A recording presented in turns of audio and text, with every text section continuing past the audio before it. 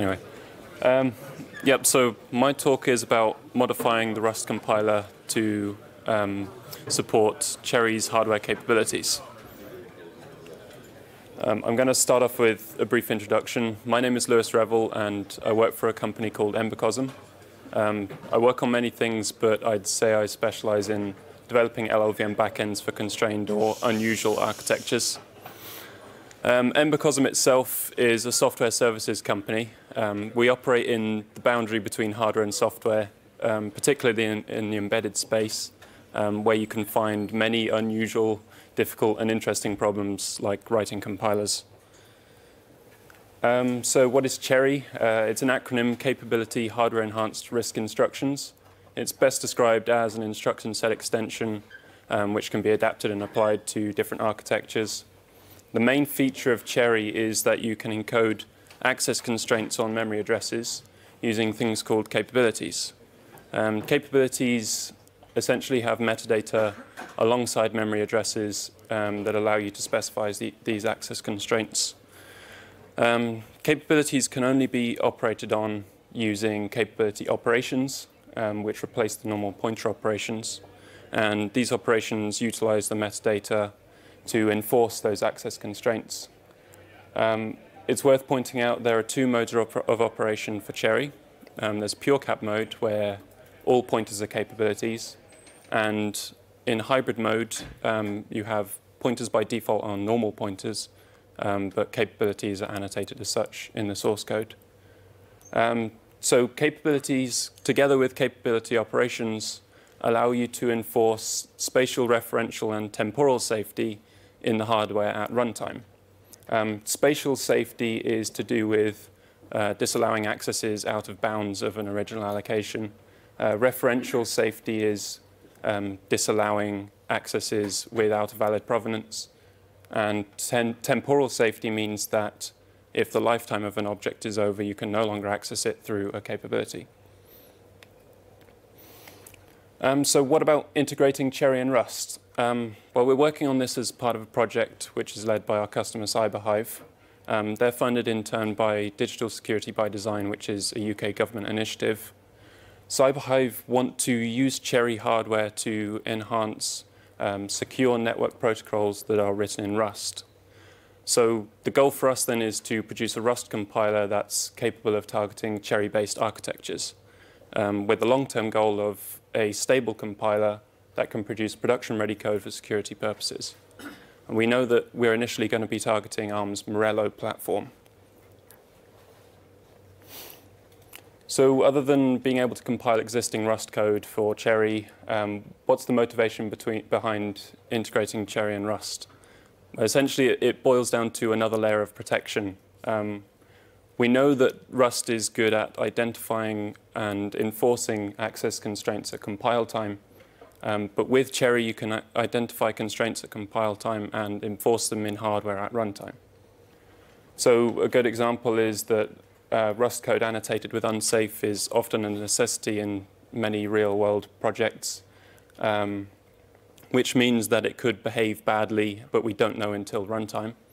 And with CHERI, you can prevent this bad behavior in hardware when it occurs at runtime. Um, there's some other small side benefits, such as replacing slow software bounds checks with hardware bounds checking, and replacing pointer plus length types with CHERI capabilities. Um, so to make things more clear, I have a motivating example. Um, so say we want to add a dynamic offset to a pointer and then load from that pointer. Um, well, this needs to be done in an un unsafe block because we don't know until runtime if it's going to do something bad. Um, without CHERI, you could end up accessing out of range of your original allocated array. Um, but with CHERI, that access will not occur at runtime, um, and the hardware will either panic or um, give you something, a default value. Um, so now that we know that we want these benefits, how do we go about modifying Rust to get them? Um, the main problem is that we need to account for capability sizes correctly. Um, that is, we need to stop assuming that pointer type size is equal to the addressable range of the pointer. Um, because capabilities have metadata, this isn't the case.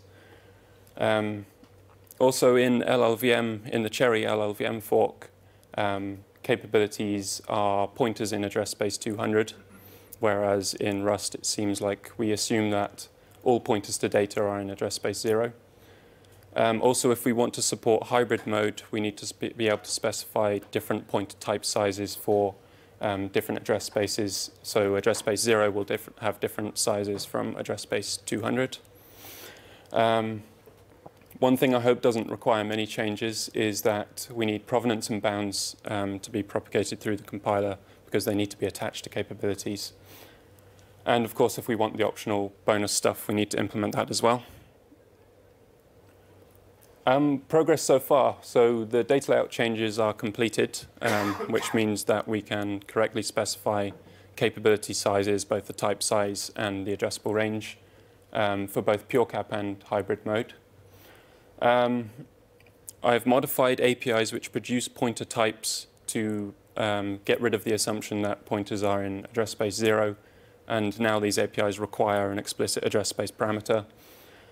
Um, and the biggest change is that for APIs where we have a where we report a size for a type, this is replaced with a total type size and a size of the value that you can re represent. Um, and yeah, this, this means that, like I said before, we can support CHERI capabilities. Um, there's also in, in the strict provenance API, there is an explicit unsafe method of producing pointers with no provenance from a usize.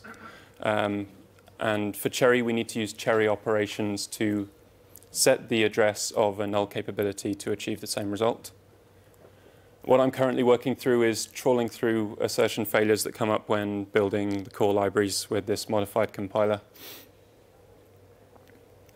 Um, what still needs to be done? Well, there's almost definitely going to be modifications to the libraries um, to remove any assumptions that break for CHERI. Um, there's also the question of how do we specify capability types in hybrid mode? Um, and because I don't think that Rust annotations are the right tool to specify a specific pointer as being a capability, I think this requires a library solution. Um, for APIs where I have replaced a size with a type size and added a size of the value that you can re represent, we need to go through all of those uses of the type size and see if they should really be using the size of the value that you can represent, because this is the main cause of um, the errors that I'm seeing in um, building the libraries. And of course, a lot of testing and polishing is going to be required. Um, before I finish the talk, I do need to mention that there's um, ongoing and past work that is in this same area. Um, there was a master's thesis from the University of Cambridge, and there's another government-funded project um, from the University of Kent. And, well, thank you for listening. Um, please feel free to check out the code on GitHub or ask me any questions outside.